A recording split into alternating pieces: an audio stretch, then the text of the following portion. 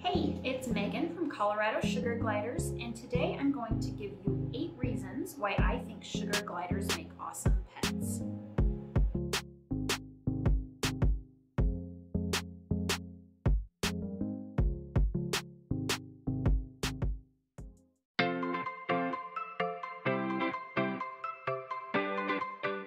Number one, they bond with their owners. They can learn their name and come when called. The more time you spend with them, the friendlier they become. And because they are bonded with you, they want to spend time with you and be with you. They can even bond with multiple people at a time. Number two, they are very playful and curious. They're a lot like a kitten or a puppy in how they play.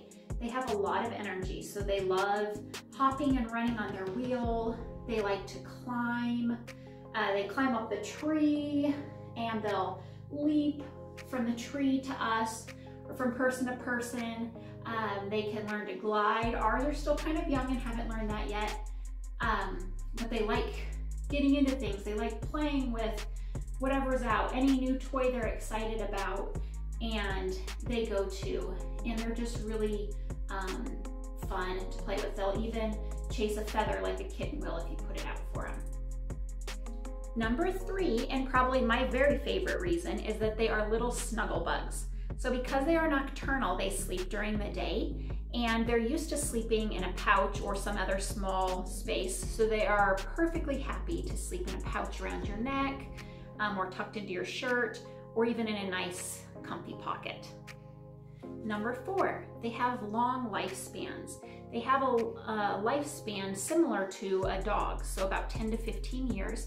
So that's really awesome because it gives you more time to bond with um, that specific pet and just have them longer. They're also generally fairly healthy animals if they are um, given a good diet and good environment.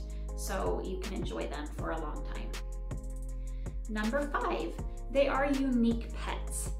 They are originally from Australia, although now they're bred in captivity, um, but they're considered an exotic pet, so it's something a little bit unusual that not everybody else has. They also are marsupials, uh, so they carry their babies in their pouch, similar to a kangaroo. Uh, so it just makes them a really cool, unique pet that you don't see every day. Number six, they each have distinct personalities. No two sugar gliders are alike. Between our three, we can see huge differences in their personalities. For instance, Reggie is super chill. He would rather eat a snack than sleep or play or just about anything. And he's very calm. Lily, we like to say that she is a free spirit. She is the first one to try out new things, jump to new places, she just wants to explore and she'll save the snacks for another time when she's not busy playing. Susie is a little bit more shy. She can be a bit crabby, but once she gets used to you or the environment, she can be super sweet and she's often scurrying around checking things out. My son Sean did a video on each of our individual gliders, introducing them. So I will put um, links to those videos in the description if you want to check those out. Number seven, they are colony animals. They love to be together. In fact, they usually sleep all together, piled up in a knot in a pouch. They're up here sleeping right now in this pouch. Sometimes they'll even sleep curled up under this half a coconut shell.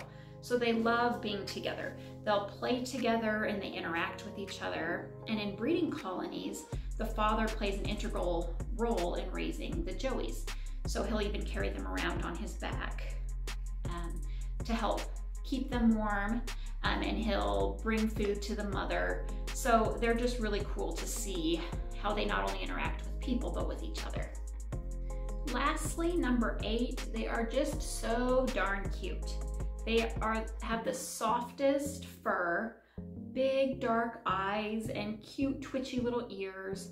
Their tails are partially prehensile, so while they can't hang from them, they can hold things in them and hold onto your finger. Just so cute. They have this wrinkly little skin in between their front and back legs called a patagium, um, and that helps them to glide. And they are just the absolute cutest when they are holding something in their little hands to eat. So how can you not love that? All right, I hope this was helpful. If you like and subscribe, hit the bell icon. You can be notified when we do new videos. If you're thinking that sugar gliders sound pretty awesome, you can check out my video on our sugar gliders right for you. And let me know if you have any questions or comments. I'd love to hear them. You can put them down below and hope to see you next time.